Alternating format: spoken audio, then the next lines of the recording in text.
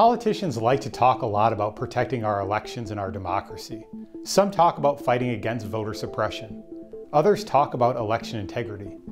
But the biggest threat to our democracy isn't either of those things.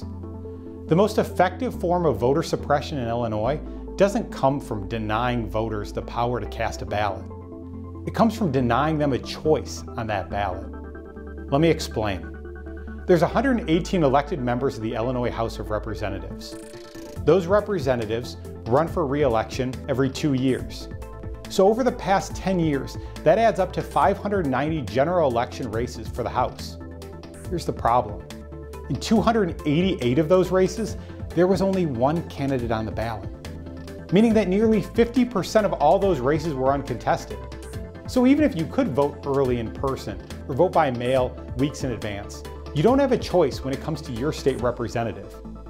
In fact, we found that in an average election, more than 4.7 million voting age Illinoisans lived in a House district where there was only one option for state representative on the ballot, meaning they had no real voice in Springfield. And when there's no one to vote for, people are less likely to come out to vote. Our research team found voter participation was on average 7 percentage points lower in House districts that only had one candidate on the ballot, which means over the last decade, there was an average of 334,000 missing votes in every single election. That's a lot of votes. For context, Bruce Rauner beat incumbent Pat Quinn for governor by 142,000 votes. The next year, Rahm Emanuel won the race for city mayor by 332,000 votes. How does it happen? Two reasons. First, Illinois doesn't have independently drawn maps so politicians get to draw themselves into districts where they're less likely to have a competitor. Governor Pritzker promised that he would veto a map drawn by politicians, but he broke that promise and he signed a heavily gerrymandered map. And second, political parties are focused on spending money in swing districts rather than finding someone to run an incumbent in a quote unquote safe district. But other states aren't like this.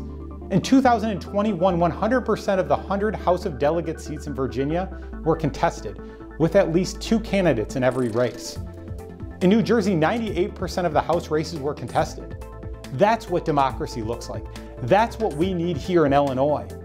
And since politicians won't give us a fair map, we're working to make the maps fair by educating Illinoisans like you on how to run for office and make a difference in your community. If you or someone you know is interested in running for office in Illinois, just follow the link in the description. Together, we can end voter suppression in Illinois for good.